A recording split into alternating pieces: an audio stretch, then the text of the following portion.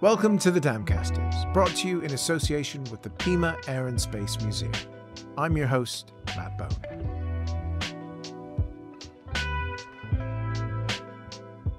Women have been involved in aviation from the very beginning. Yet, I think I'm not alone in having a gap in my AV geekery for this intrepid group of women who took to the skies during the early and incredibly experimental days of flight. So when I saw Sally Smith's book, Magnificent Women in Flying Machines, I knew I had to dive into it. Sally starts in the 18th century and looks at the woman who took to the skies in the first balloons and also made a living not only from flying balloons, jumping out of them too. Throughout the near 250 years of women pilots that the Magnificent Women in Flying Machines covers, Throughout the near 250 years of women pilots that Magnificent Women in Flying Machines covers, the love, passion, and determination of each of these intrepid women is palpable and truly inspiring. So it was great fun to sit down with Sally and chat about a few of the women that she covers in her book. Given that Sally starts in 1785, I had to ask what was the starting point for her to look so far back into British aviation history? Well, as, as, a journalist, I was sort of always interested in everything. Um, and my background was a bit in aviation because of all the skydiving and ballooning I'd done. My parents in the Air Force, and my son's mm. a long haul pilot. So we've got a bit of aviation interest in the family. And, um, and just one day I was thinking, who was the first British women's pilot? And I didn't know. And I asked my son, BA long haul pilot, who's the first British woman. He had no interest at all. And I thought, well, hang on, people should know this. So I tried to research it and I went on to Google and you try, it's really interesting. Google, first British woman pilot. Well, for my case, it came up Amelia Johnson. Well, I knew she was American. So I Googled again and it, it, do it now and it comes up with Amy Johnson. And I knew, you know, she flew in the 30s, but I knew she wasn't the first British woman's pilot. And I thought, this is crazy. So I researched it and I finally found Hilda Hewlett, another story behind that, uh, Eda Cook, who was even more amazing. And then I thought, well, who was the first British woman parachutist? And researching that, and I found this amazing woman who was brought up in a Victorian workhouse. She was very nearly the very first woman parachutist in the world, but the American girl just beat her. But she had a phenomenal story, and I thought these are names that ought to be recorded properly. And that's how the book came into being. I have to admit, I kind of fell in love with all of them as I was going through it. They're just such a wonderful group of, of women. And you know, you you mentioned that you're sort of a balloonist and things. Was that the sort of affinity? Because the first few are all balloonists and, and, and parachutists. So w- was that sort of did you really find an affinity with with, with those women? It wasn't because of that particularly. It was because I was doing it in chronological order, and I thought that was mm. a sensible way to do the book. And the book really just covers the the British women who were firsts and made significant first achievements in various forms of aviation.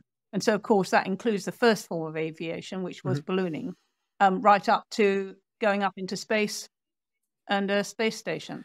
Yes, and uh, of of course we have all the fun nowadays with first Briton in space, and you have the the Tim Peake Helen Sharman mm-hmm. debates, which we, we're not going to get into um, because uh, it's not not worth it. It was it was Helen, dear listener. It was it was Helen.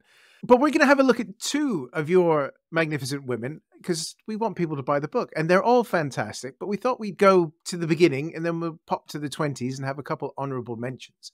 But I'd I'd love to chat to you a little bit about Margaret Graham because we're going right back to the 19th century, and this is ballooning as spectacle, isn't it? It's yeah, absolutely. it's almost a spectator sport, isn't it? But we we've got we've got a little bit more about her to learn. So who who was Margaret? Well, she, she had the first British women's pilot, and you say ballooning was a spectacle sport, but really it was because people were trying to progress in aviation, and it was so expensive that they were looking at any ways they could to make money to so that they could continue with their efforts to fly.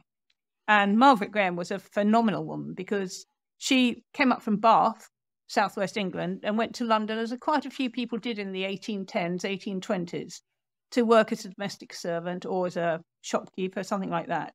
She linked up with a man called George Graham, who wasn't particularly, how can we say, he was honest, but he was a little bit on the edge of it. Um, but he had managed to get hold of a second-hand balloon, and Margaret was attracted to him. and he was going to put the balloon up to make some money. He thought that was a good money making idea. He was always short of money. And Margaret helped him. But on that very first flight that they did, they didn't fill the balloon full enough with gas. They were trying to save money. It didn't get off the ground. They'd attracted a lot of fee paying audience. And instead of offering to pay their money back, um, George Graham just ran away and hid at the back of a tavern. And so it was a little bit of a, a, a, a, weird start to flying. But anyway, they kept going. They launched the balloon, filled it with gas, made a few displays, and made quite a lot of money. And Margaret Graham, by this time, they'd got married. She'd had a kid. And George Graham, again, desperately trying to make money, thought, I know, if we had a women's pilot, we could charge double the entry fee to come and watch the launch. And he spoke to Margaret about this. Margaret had been around, she'd been up in a flight, she liked it, and she thought, yes, I think I could do that. Why not? So they put posters all over London. First woman to fly, she's going to fly a balloon. And they took the, put the balloon up, they set it up with gas, and with the crowds in front of them, Margaret stepped into the basket. The only controls at that time were sandbags and a little um, vent at the top of the envelope so that she could let a little gas out if they were going too high. She stepped into the basket, and against the cheers of all these crowds, she took off. Um, unfortunately, they hadn't filled the balloon full enough with gas because, again, George Graham was always trying to save money. And it, it, took off. It didn't fly very high. She just cleared the top of Islington Church and then came down quite heavily at the back of a tavern in Stoke Newington. She came into an allotment just at the back of the tavern. But nevertheless, she'd flown and she'd been the first woman to fly. On her landing, she wasn't given a lot of acclaim for being the first ever British woman's pilot because the innkeeper came out and yelled at her, tried to stab the balloon, and finally took her to court for damaging his allotment. But nevertheless, Margaret Graham was the first ever British woman pilot to actually pilot any aircraft of any sort. Um, what was interesting, though, is when she went on, because soon after that, her husband was put into prison for debt and she was left alone with children um, in London on her own, and there was no social security, nothing, no help. And she thought, what am I going to do? And instead of rushing back home, she thought, well, I've flown the balloon once. I know what it's about. I can organize a business. And she took it over. She took over the business and started giving displays. Her husband came out of the prison and then started helping her. But from then on, really, it was Margaret Graham's business. She started giving displays all over England and she was actually a phenomenal success. She had a lot of accidents, of course, because in those days there was very limited knowledge about weather forecasting, and especially with a, a balloon. Um, she'd land on roofs and trees and all sorts of things. But nevertheless, she, she made a success of it. And she was very successful. So that was British first British ever woman's pilot. Terrific story. And she did it she's absolutely fantastic. But let, us talk about the kit for a second. So, what are they? What are the balloons that they're flying made out of at this time? Because it, it's you know, I guess today it's lo- lots of fancy stuff. Yeah, they were mainly mm-hmm. silk, mm-hmm. and they were hand sewn, usually by seamstresses around. So that, of course, all the seams had leaks, so the gas inside would gradually go out. The silk wasn't particularly non-porous; it was just normal fabric, so that unless it was very good quality, um, again, you'd get quite a lot of leakage through it and obviously they'd wear quite often so that they often have patches on them and sewn up with all bits and pieces. It was very much a, beginning of, of new materials as well as of flying.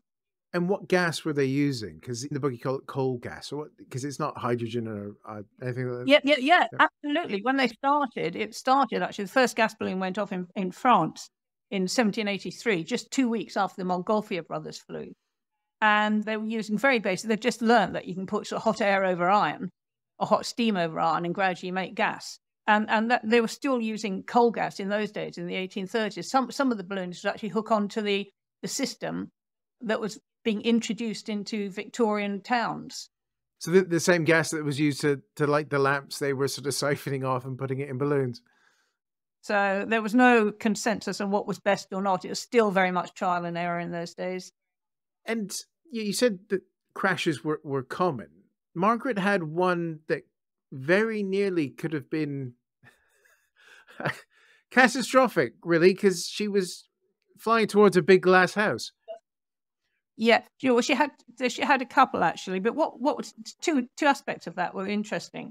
Um, one that any crash she did have, the media were immediately onto her, saying, "What is this woman doing? Isn't this mm. appalling? why is she um, embarrassing her sex so much by flying balloons instead of just being on the ground, being a normal housewife. But um, anyway, the second that she had a few crashes, but the main one she had was what the um, London exhibition in 1851. And this was a big event. It was when the Crystal Palace was built in Hyde Park. And the exhibition was to show the best of product that was available at that time. It was a huge event meant to attract people from all, not over all over Britain, but also from overseas because trains were coming in and people were becoming able to travel a lot more. Margaret thought, I've got to fly across this show. It's going to make my name as I'll be the best pilot ever. And so she arranged it and she set up on a quiet day when there wasn't much wind. She set up upwind of the Crystal Palace in Kensington Gardens on the edge of Hyde Park. And the crowd, the grounds were full of people, thronging with people. And she took off. Um, unfortunately, as she took off, she'd chosen a low wind day, but because of that, there was a slight air current swirling around. And as she took off, her little gas balloon flew into the side of a, a tall flagpole and just put a little rip. So off she went, but she hadn't got the much lift as she wanted because of that damage. She couldn't land quickly because of the crowds below her. So she had to fly on. And that meant flying on to the Crystal Palace. As she flew onto the Crystal Palace, she was climbing a little bit and she thought she'd be okay. But as she reached it, she realized it was going to be touch and go. In fact, she she cleared the top of the Crystal Palace by the, the reports afterwards say it was less than three feet. If she'd come a little bit lower, she could have demolished the whole thing. It would have been one of the biggest disasters ever.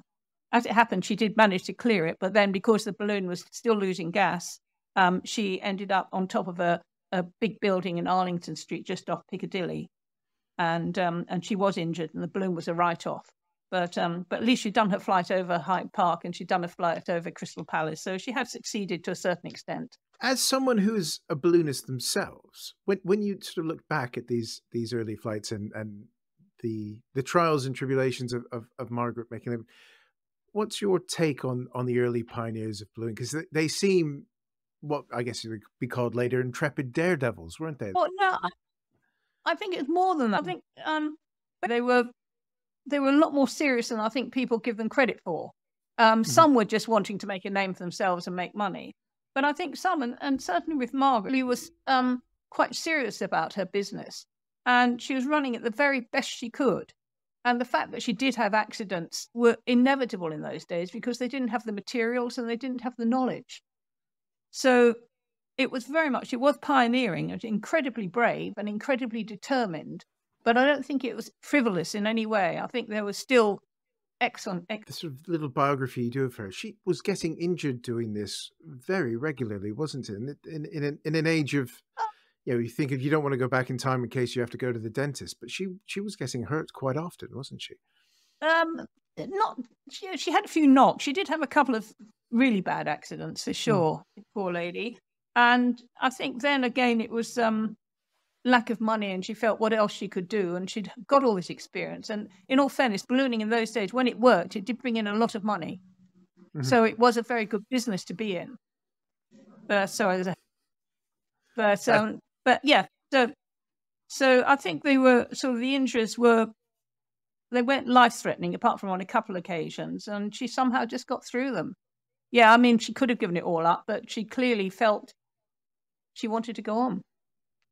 Incredibly, the, there's there's a couple of the biographies you have in there of, of these women who, you know, the the press, which would uh, clearly, as as they do now, when anything happens with a female pilot, so jumps on it. But I guess at, at that time, with shall we say, flexible rigors towards journalism, I, I, suppose the knowledge that should even the smallest thing go wrong, it would get blown out of all proportion, made each flight quite a stressful occurrence. Margaret Graham was a very feisty lady. Mm. Yes, she got into a lot of battles with the media because they were absolutely opposed to any woman doing something like this. And of course, at the time, in the 1830s, 40s, 50s, she was the only British woman who was flying. And so they went for her as often as they could. And I know there was one occasion when she took off, and unfortunately, um, she was blown gently into the edge of a building. She was taking off in a fairly small confine where people had paid money to watch her take off and the balloon, the envelope of the balloon got lodged on the chimney, and the mm-hmm. basket got um, sort of lodged just hanging below the roof line. And she couldn't get it off. She tried to dislodge it, but she couldn't. So in the end, she had to climb out of the basket. And luckily, she was near enough and could climb into the top window of this um, building. Well, the media really went for her. And um, and instead of saying, you know, sad accident or well done for surviving or anything, all they could say was, what a terrible thing to have done. What is this woman thinking of? When she was up there and then she climbed into the building. And not only was it an appalling concept for her to do it all, but all the crowd could look up and they could see up her skirt and see her bloomers. What was she thinking of? And that, that was the angle they took up. Not that, hey, here's a woman pushing back boundaries and, and showing that flight's possible. So um, poor Margaret, but she was very feisty, and she she used to write letters to the media all the time saying this is rubbish and this is what I'm doing. So, you know, all kudos to her for sure. I really like Margaret. That the yeah, sad family life, lost her daughter and things, but yeah, the grit that she sh- yeah. showed that you've you've been able to get across is just it just makes you smile, and you just want her to succeed. I'd love to meet her. I'd love to have met her. Mm. Oh yeah, just a fabulous woman. Oh, on, honestly, she she was fantastic, and um, you you I think you do her great great justice. But but it, in all fairness, all all these hmm. women mm. were fantastic in their own way. I mean, that's why every one of them makes a fabulous story because they just, although they're in different directions, whether they're ballooning, gliding, skydiving, or going up in rockets, whatever, um, they were still breaking boundaries and and, fighting against traditional belief that still mm. exists in many ways. Oh, hundred percent and you know it's it is it is a sad reality that that view that they had then in in in those days of the, of the press and things permeates through to today that there's such a small percentage of all types of pilots aviators and things mm-hmm. that, that that are women and i know there's there's great strides to change that and i'm trying very hard to to welcome as as many female guests as i can on because it's far too easy to find middle-aged white guys like me doing this but it's it's far more interesting learning learning about these intrepid women because mm. until I'd read your book, it, this, this was a black hole in, in in my knowledge about aviation, and it's it's important that I think we do. Well, I'm so pleased because they're these, fab. These names are down on record, you know, because otherwise mm. their fantastic efforts could just have been lost forever. Completely, and I'm so glad they're there. But we're gonna, we're going to talk. We're going to jump ahead now because we're going to go air racing and meet the the fabulous Winifred Brown. Oh, mm. she was great. She she was, and it's it's this fantastic time. The sort of the twenties are going on. Flight is is becoming, I say, more accessible in the sort of upper middle upper class sort of way as more accessible could could be. But she was still quite early on the the women getting their pilot's license. Oh, that's right. She, started in the mid um, 1920s. And even then, mm-hmm. there were only a handful of women that actually got their pilot's license then, although they were slowly coming up. And you're quite right about a class thing because it was very expensive. And mm-hmm. um, the women flying at Stag Lane in London, which was the big training school then, very few women because it cost a lot of money. So they went an opportunity, they didn't have the opportunity to learn. Um, Winifred Brown was exceptional because she she was she did have a bit of money because she was born she was the daughter of a butcher in Manchester and he mm-hmm. his chain of meat shops had done really well. So he had quite a bit of money and he married late. He had not she had an older mother. And so Winifred Brown was born into a fairly wealthy family with two doting older parents. So the scene was set and it was very perfect for her. But that said when she was 10, 10 years old, she weighed 10 stone. So she had a lot of teasing at school, but she was a very happy person. And she didn't seem to let this worry her and just went on. And she, she finally grew up, and then her daddy bought her a car, and then she had some boyfriends. And then one boyfriend took her to Woodford Aerodrome, which was the early Manchester airfield. Mm. And it just had one tiger then. And, um, and she went there with her boyfriend and saw the plane and she said, Oh, I've got to learn to fly. And the one instructor there said, I'm afraid it's very expensive. But obviously, no women, he wasn't expecting a woman to be able to fly, let alone get involved. And Winifred said, Oh, daddy will pay. And daddy did pay. So she was lucky in the way she started. but that was the only difference between her and all the other women in Britain. Because after that, she worked really hard. And um, she wasn't a particularly a natural flyer, but she she just worked at it and she became a quite a good pilot. Um, she was a little bit frivolous about it, and she used to take boyfriends up and, and play a little bit. Um, and then she had a, unfortunate, she had a accident that really wasn't her fault. Um, she'd arrived at the Manchester Aerodrome, and there was a man there surrounded by one or two other people, and he was meant to be taking a a film cartridge to a big launch over east of um, Manchester, and it was a film that was going to be I don't know some big promotion, and um, and he couldn't for some reason he couldn't do it, and Winifred in a happy, nice, happy way said, "Oh, I'll, I'll fly it over for you if you like," and so she was told where to take it, and and she said, "Oh, where's this landing field?" They said, "Oh, it's all been worked out. Don't worry. There's a lot of people there to meet you. It's all been fine. Just go and if you can just deliver this, we'd be incredibly grateful." And so she said, "Yeah, okay, I'll do that." And she took off with her film canister on board and went and saw the field. And she thought it looks a bit short, but then she thought, well, it's a big film company and they've made all these arrangements. They must they've checked it out. Must be okay. so she went down, landed beautifully, um, but there was no wind, and she realised she wasn't going to stop in time the crowds didn't back off. They were all running up to her and it was all excited. And unfortunately, before she stopped, she'd killed a boy, one of the boys in the audience, in the people watching. It was a very sad occasion for Winifred, and she was devastated by it. There was a court case after it um, that said no fault of hers whatsoever. And indeed, it wasn't. She was a good pilot, but she gradually got her confidence back. And she took flying after that very seriously. And she still loved her flying. She went on a course, a engineering course to learn a bit about more engines. And she went on a navigation course as well. So she suddenly started to fly seriously instead of just having a lot of fun as a party girl. And then one day she was up at um, Blackpool and she saw a lot of planes landing. And she said, What's this about? And it was part of the King's Cup air race, which had started earlier in the 20s. And it was the race, I'm sure most people know about it, to um, it attracted the best pilots of the day and it was a race round a course, and obviously the winner got the cup and the trophy and a huge amount of acclaim and applause. And she just, looked at this. Just, just to explain it, if if so, just say if, if if someone doesn't know about the King's Cup, definitely look it up because it is it is fantastic. But it's when we say a course, we we basically mean England, don't we? It's, yeah, it's yeah, it's, yeah, it's yeah. quite a course. Yeah, it's well, um, of course cross country about... cross country sort of job.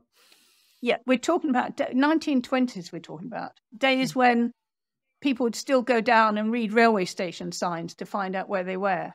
I mean, the instruments were minimal, and getting lost was so easy, and you couldn't fly in cloud because there were no instruments. So we are talking still about very early days in, in aviation. Anyway, she she saw the pilots in the King's Cup areas, and she thought, I'd really like to enter that. And she found out about it, and then she told the, her friends at the club, "Oh, I think I'll enter it next year." And they said, "Winifred, don't be ridiculous.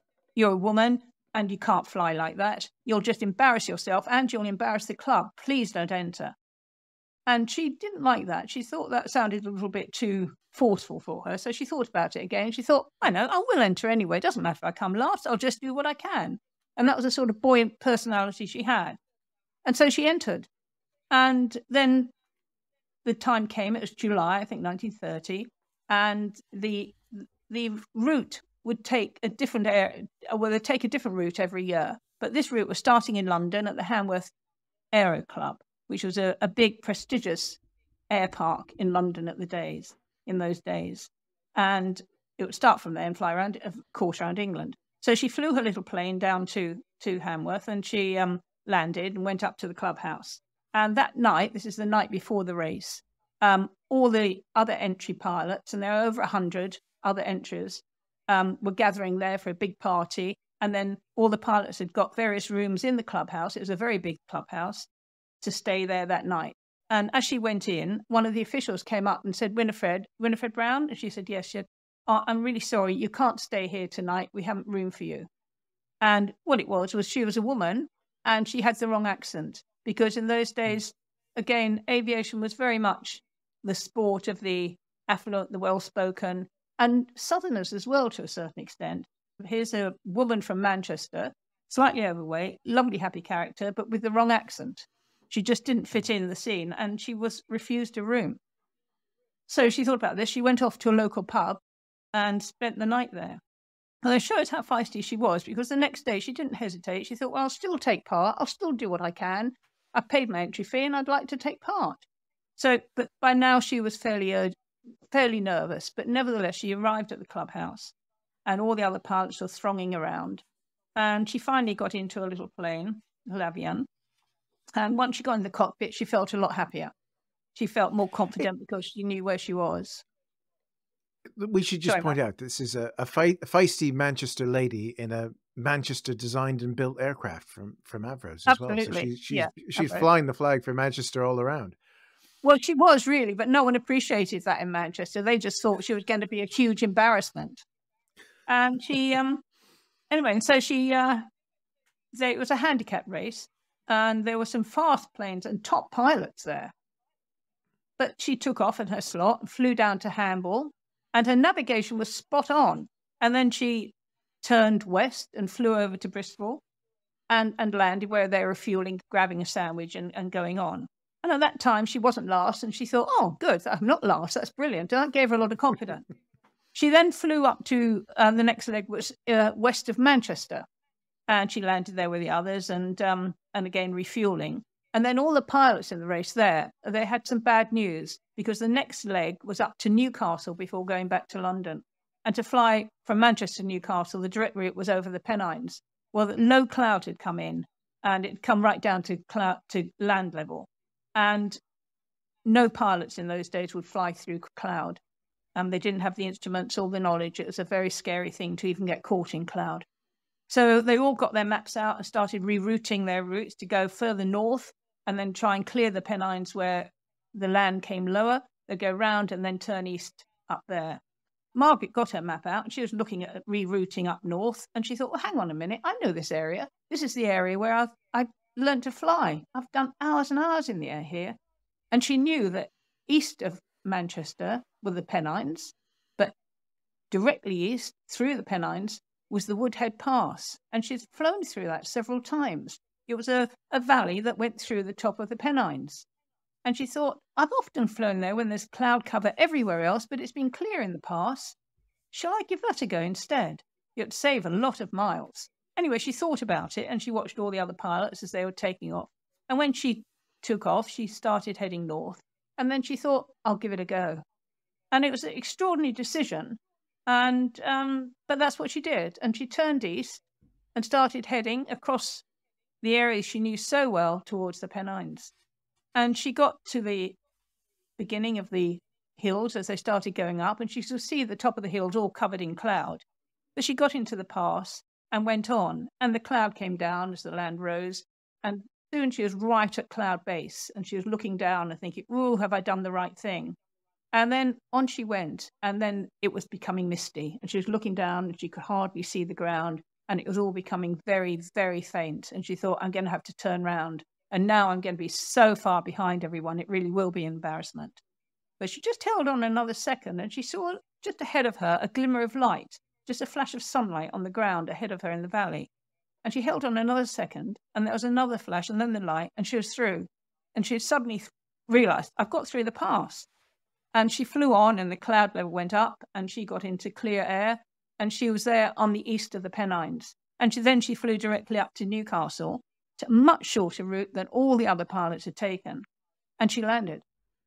And it was it was again great navigation on her behalf. When she landed at Newcastle, she learned she was first, um, which I suppose in some ways didn't surprise her because she had made this enormous shortcut.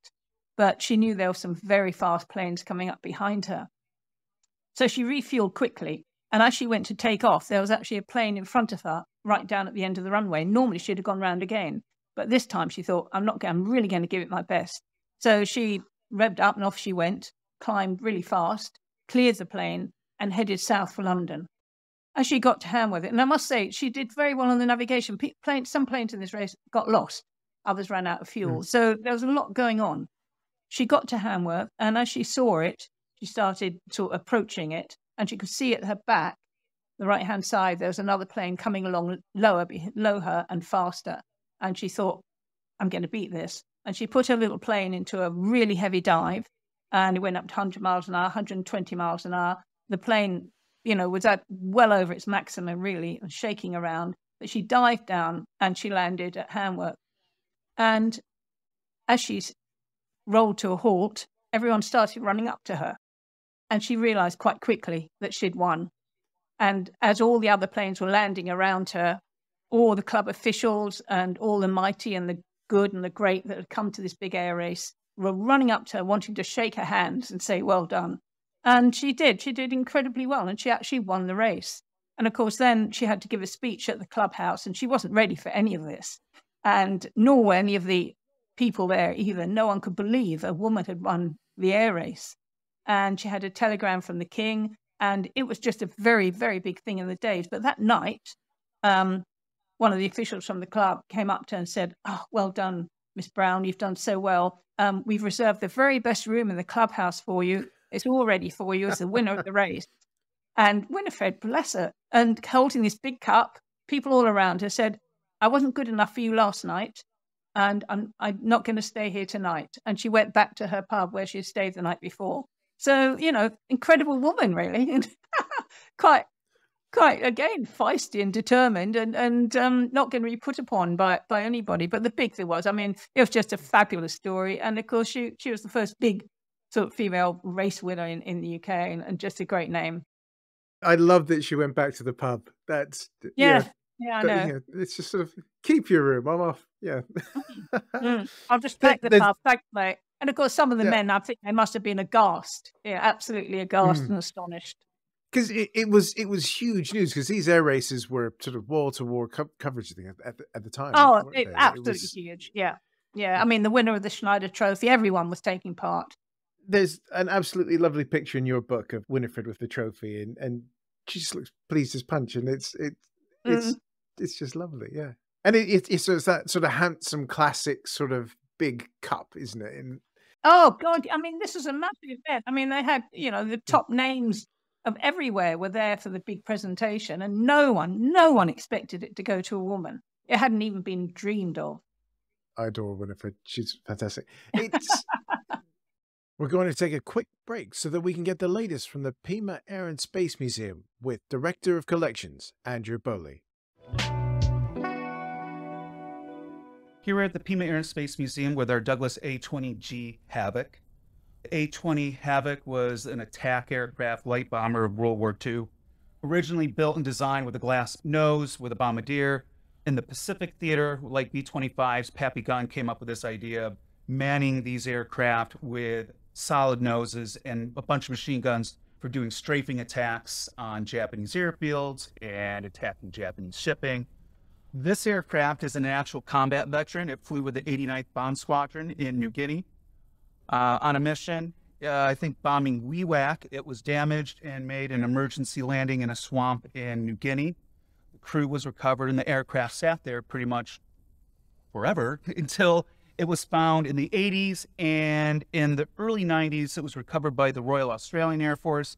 This A-20 with another one that they had, they restored the one Hell'n Pelican, which was another combat veteran from the Pacific. They used a lot of the parts from this aircraft with that aircraft. Then actually went to a civilian owner, and then we ended up buying from that civilian owner and finished up the restoration, put it on display here. It's a unique aircraft in the fact there's only about four, if I recall, A-20 Havocs anywhere on display in the world, with one in a private collection, one at the Air Force Museum, one here, and one in a private collection in Russia. But uh, I'd say it's always been one of my favorite aircraft. I think just because of the lack of them as survivors, and also just seeing a lot of those cool photos from World War II, where you see these A-20s coming in low over a ball, bombing Japanese cruisers and and transports, and you know they're like literally flying right like at mass height over these ships. Um, so I just always found it to be a pretty cool airplane. To learn more about what is on display and what events are coming up at the Pima Air and Space Museum in Tucson, Arizona, please do check out their website at www.pimaair.org. And we're back with Sally Smith discussing magnificent women and flying machines. It's, it's funny at this time, I, I'm going to go slightly off our script here because the sort of women that you have in your book, you, have got the two Lady Marys as well. And I, I throw them in only because I saw it was last week the RAF Museum tweeted out that it was the anniversary of, he says quickly looking, Lady Mary Bailey departing London on 9th of March, apparently. That's right. Yeah. Which was fun, but I have to admit, I think uh, Lady Mary Heath, she's she's far more interesting. Sort of the, the, think, the Limerick lass who made sure she had her even, evening evening dress with her in the aircraft. I, I just I, I, I thought she was fantastic too. Well, I think people prefer Mary Bailey because she was um, probably the oh this sounds awful at this time but she was the nicer woman i think possibly in a character wise so people take to mary bailey. Mary heath was more of an entertainer but actually what a woman. I mean she when she was two i think no under two her father bludgeoned her mother to death i mean she had a hell of an upbringing and um and half of her reason i think for wanting to progress in, and be a pilot and be a good pilot and win races and do long distance flights was because she was pretty desperate to make a name for herself. She wanted to establish herself because she'd had this very, very insecure, peculiar upbringing. But that said, she she did that and, and she achieved it. And um, I mean, her marriages again, when she, you know, she was in her 20s and married a rich man over 70, and you do wonder how much of a love match that was. So I suppose we have got that suspicion about our Mary. But um, but that said, you know, she she had a purpose and she probably kept him quite happy, but she also obviously used his money to go flying. And she loved the social side of it. She was being socially recognized and being important was hugely important to her. And that's how she conflicts with the other Mary Bailey, um, the two of them were two big, sort of long distance pilots in the very early or late 20s, early 30s.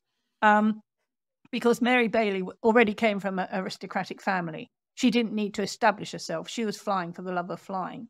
Mary Heath was flying more than anything because it's a really good way to make a name for herself.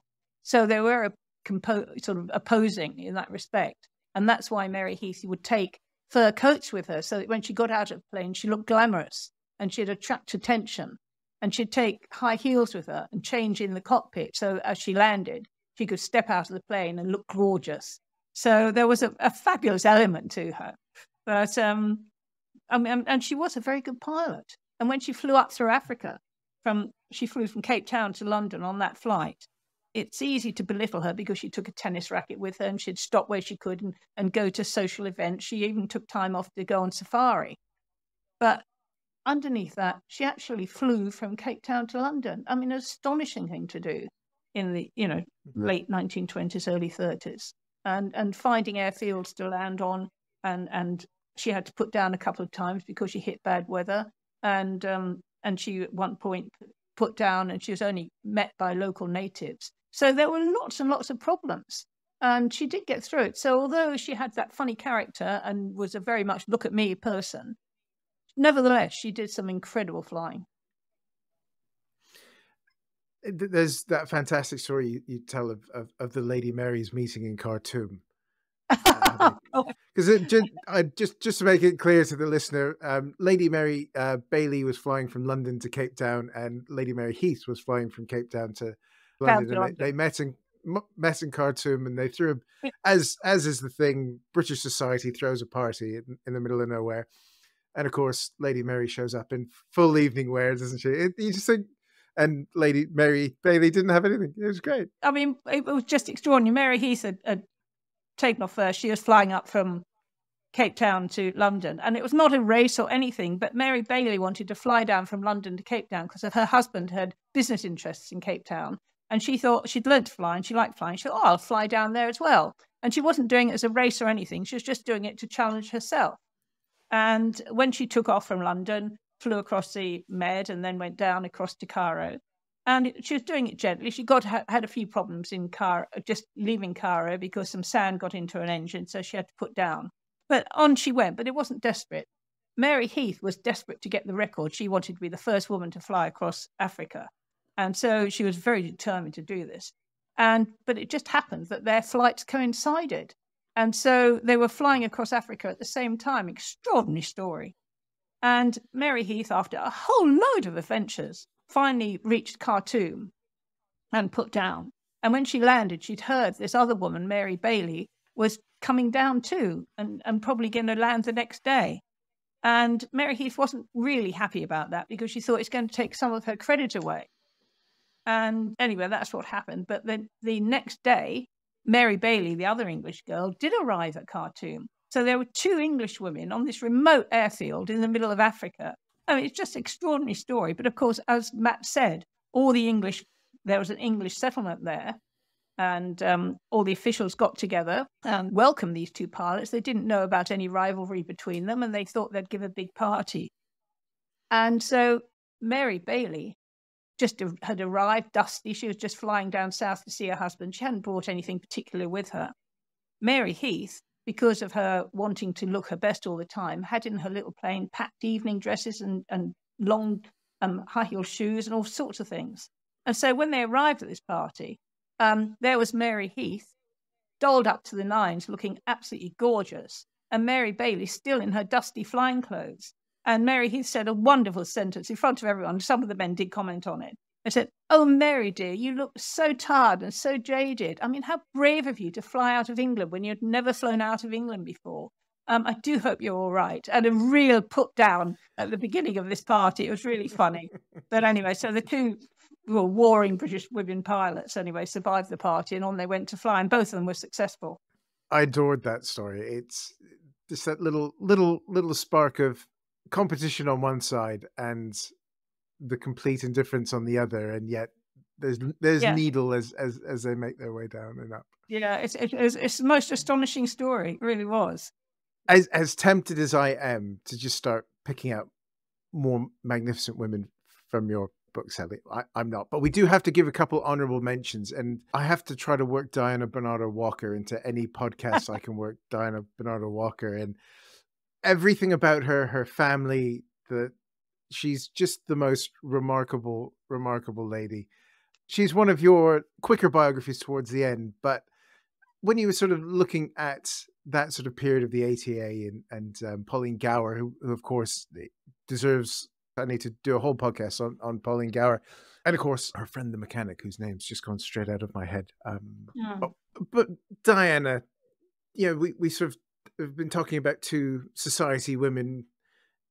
She was possibly the the society woman presented presented to the king. My favorite story about her: she was taught the forward defensive stroke by Don Bradman on her on her dad's lawn and, and things like that.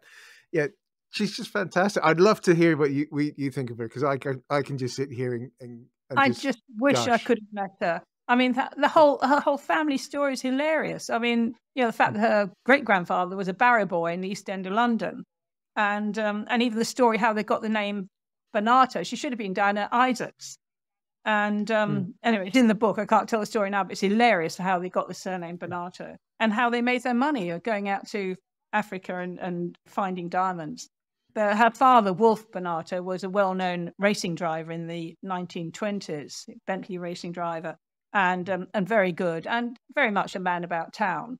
Her parents got divorced when she was quite young, but both parents remarried and they both had adequate income. So she had a great childhood because um, she was doted on whichever parent she was at, staying at. And um, so she was brought up with a lot of confidence and a lot of fun. And when she was in her late teens, she was as many society women in those days were. She was presented to court in a long white dress as a debutante. So, um, so that was the sort of upbringing she had, and um, and she learned to drive, but she was still being chaperoned to a certain extent. And she heard about flying, and she heard that there was a, a, you know, you could learn to fly as a woman. And she thought that might give her a little bit more freedom because she was still being, especially by her mother, um, not allowed out on her own. And she was quite an independent young girl, very attractive, and wanted to live life. Um, so she mm-hmm. went down to Brooklands and signed on to learn to fly. And she went to Brooklands really because she knew her father raced around there on the lovely track there and she knew there was a flying school there. So that's why she went to Brooklands and she, she learned to fly there. And she did quite well and she learned a bit.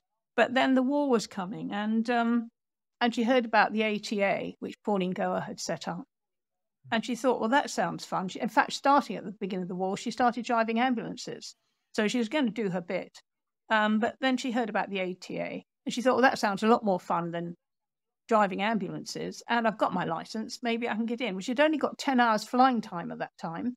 So when she heard that they'd given her a test, she really did a bit, few practice flights and really learned what she could.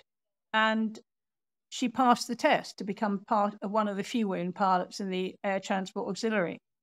The, unfortunately, the day after she did her test, she went riding to celebrate and had fell off, had a bad accident. She was in hospital for six months. So her start on the ATA was actually delayed. But then finally she got flying and was very pleased. And and like all the ATA girls, just fantastic. I mean, they were giving given just a small book of, of ferry pilot notes and just given whatever plane they had to fly. And I mean, they were doing Hurricanes, Spitfires, Wellingtons, just flying anything anywhere, which is what they used to call themselves, the Anything Anywhere group. And um, and she was doing that, but she was still a little bit of a party girl. And occasionally she'd be flying from I don't know, maybe Gloucester to Oxford or or Southampton, where she was based for a while, up to Manchester to deliver a plane. And she'd drop off if maybe a friend who was living in the country home they had a big grass field so she'd land or maybe it's a near, nearby airfield and she'd stop off and have a picnic or go and have lunch with her friends and um, and this got around a bit and she was told not to do it but she was just a fun girl and occasionally when she was based down in southampton um, she'd get a train up to london go to an all-night party and then end up back in southampton early in the morning to now deliver a wellington up to northampton or something like that you know she was just a a good pilot, but having a lot of fun in life. Um, things changed a little bit because she um, she had a serious boyfriend. She had lots of boyfriends, but then she had a serious boyfriend. He was killed in the war, and then she became engaged. Hmm. You know, I mean, hmm. Diana was just part of a, a lively group, and hmm. they were doing astonishing things, and the energy of them all was, hmm. you know, they didn't bother about sleep a lot of the time. But anyway, but she she went on flying, and then she did get engaged, and yeah, as you said, he um, sadly died. And but anyway, they went on, and finally, after the war, um, she started, I think, flying with the the group of air women, trans air women that had been set up by the government to encourage women into flight. And she started just doing some work for them. And eventually, she got the opportunity. Well, she wanted to fly a jet, and jet planes were coming in. Um, the first jet, the Gloster Meteor, I think, um, had come in a bit late for the for the war, and I think Veronica Volkersz was the first to fly a jet. And 1945, she delivered one, I think it was, on the um, when she was in the ATA. But basically, women went flying jets. But Diana wanted to do that, and then after that, when she had done that, she thought, "Oh, I'd love to go through the sound barrier," and it was something she wanted to do and it was possibly part of her nature just to keep pushing herself all the time. And she she'd got a child by this time, so she was doing very well. Um, but she she anyway she pushed herself, and it was thanks to a, a, colleague that she knew at the Air Ministry that she actually finally got permission to train on it. It was a Lightning, and she went up and did a simulator course, which had come in in those days. And then in I think um, 1965 she flew, and she became the first woman to go through the sound barrier. It was a lovely story. And, and actually it was a happy ending for, for this woman who'd, who'd had a fabulous beginning to life and then had a tricky time through the war. And then back to sort of having fun and, and enjoying her life again no it's a lovely story yes it, it just the, the whole circle she she ran in with her at the center just the most you know remarkable the reason she was able to to get through that was the wonderful connections that she'd made all through her life that she then worked religiously to to make sure that she could she could achieve that. I, I, I just think she's the most remarkable. My dad got to meet her, and I, I think I, I was telling you this on, on our email exchange, and I was a stupid teenager who was off doing other things at the Edenbridge and Oxted Agricultural Show, which is August Bank Holiday. Everybody, it's a fantastic day out. My dad spent the day with Diana. I spent the day, yeah, being a teenager, and he still oh. holds that over me to this day because he just smiles whenever you mention her name because she was just apparently the most wonderful lady. I think she had a terrific character, didn't she? Yeah. And I don't think it was just because she was brought up with money, and it wasn't just because of her connections. I think actually, if she had been brought up in a poor household, she'd have still shone out as a star. She's had a lot of her father in it. As well, she had mm-hmm. an incredible drive, like like he did, and he, yeah, you know, his, his no, story is remarkable. How you know taking his family to court to get his inheritance and things. I, I think she oh, grew up in a very independent minded house. And, you know, the, the relationship with Whitney Straight, who was a great racing driver. And it's, oh, well, it, it's, absolutely. It's, fab, it's And she has this child. she had Whitney Straight's child, which I think is just wonderful. Barnaby, I think, yeah. Yes, he, yeah. he's. I, I think we need to we, we need to wrap up, but we cannot wrap up without my favorite unsung British woman who, for over the last few years, I've been jumping up and down to mention her name, and that, of course, is Helen Sharman, who's the first Briton oh. in space, yes. who the, the government would probably not like to remind, as she was a technically a commercial passenger, but I just love her story that you know sat in traffic listening to the radio and there's an advert for for people to go in space and it's like 18 months later she's on Mir. It her story is just fantastic and one that's kind of been overshadowed by Tim Peake, I think, which is which is a great shame because I think hers is far more interesting because of not only having to to go to Russia to train, but to learn Russian, to learn technical Russian, um, mm. to be able to go up. I, I, I adore her. The dedication that Helen had, and, and for mm. all these wonderful women in the book, including Amy Johnson, all of them, um, which all had a fantastic story. The love about Helen Sharman was that I could actually speak to her. And ah. once you talk to her and find out, you know, what it was really like to be in space and the work she did. I mean, the first, she went to Russia to learn how to be a cosmonaut. For the first three months, she had to learn Russian because she, the whole, all the instruction was in Russian. A, a phenomenal challenge, and she did it all. I mean, she's brilliant. Mm. And um, and then you talked to her about what it was like in space, and it just brings home to you not just a blue planet, but all the little things she was telling you about how you live with, you know, sort of without gravity, obviously, um, but the sight of the Earth below. And she she describes some stunning scenery that you don't really get in normal official aviation reports, but how the lightning would flash around from cloud to cloud, um, right across the, the hemispheres, and then go back again. And, and just it was just wonderful to speak to Helen. And the fact that she'd managed to do it, to get through all that training, and then get up on the space shuttle and get it up to the Mir station was just phenomenal. No, fabulous. Well, they're all they're all brilliant women, every one of them. That's why I'm so pleased they've been recorded now because mm. every one of their names, you know, should be known, really.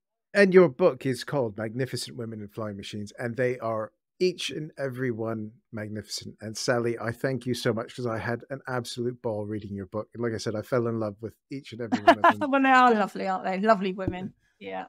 Thank you, Matt. Thank you. I cannot thank Sally Smith enough for joining me here on the Damcasters. Her book, Magnificent Women and Flying Machines, really touched me. It was a great read, and all of the incredible women that she covers are just magnificent. So, as always, I encourage you to pick up the book because it is a fantastic read. And it's out now from the History Press, who were very kind in providing me with a copy to have a little read of. One of the things I have noticed with this podcast, though, is that when I have female guests on, or the topic is female aviators, numbers tend to drop a bit. So I've decided to do something about it, and that is to double down on female guests and topics of female aviation. So, mainly starting over the next few weeks, you're going to be seeing many more incredible women historians and pilots coming on to talk to us about their love of flight and the subjects that are close to their heart. As you've seen from Sally, women in aviation is fantastic. There are some incredible tales out there. And even now, we have some incredible women blazing trails in aviation. Aviation is still writing its history, and we still have a lot of prejudice within it. So we need to talk about it. And that's what we're going to be doing here. And I hope you're going to join us along the way. I've had so much fun chatting with Sally and reading her book, and it's just invigorated me to continue on this thread more. And I'm really excited by some of the guests we've got coming up, and I'm not going to spoil it now because we're a little bit away from a couple of them. But we really do have some interesting tales of women kicking open the doors to areas of flight that were not thought proper for women to do. So, please pick up Sally's book. It is available on our bookshop and it's available from all good and evil booksellers out there. And I'd like to thank the team at the Pima Air and Space Museum for their continued support of the podcast. For all the latest from them, you can check out their website at www.pimaair.org. Follow all their social medias because they've got some fantastic clips going on, especially for the Titan Missile Museum too, where they're doing lots of behind the scenes bits and pieces as well. As always, I have to thank our supporters on Patreon. It is super kind to have their continued support. You can join from just £3 a month. You get these episodes as soon as I get them edited, plus all the news that I was teasing before. They're going to get it first. Now, I know times are tough, and that's not going to be for everybody. I completely understand that, and we're going to continue to pop these episodes out for free. What I would ask people to do is to tell your friends if you like it. If you don't agree with me, let me know. Best way to do that is to leave a review on your podcast of choice, stick some stars into Apple Podcasts, and it helps the algorithms to do whatever it is the algorithms do to move the podcast up and down in the charts. Recently, the Damcasters has been as high as number 8 in the United States and number 12 in the UK on the aviation charts, which is amazing. So, as you can see, reviews help, and you guys listening and telling all your friends has been fantastic. So, until the next time, thank you so much for listening, and do take care of yourselves. The Damcasters is hosted and produced by Matt Bone, and it is a Boney Abroad podcast production. To check out our other podcasts, head to boneyabroad.com.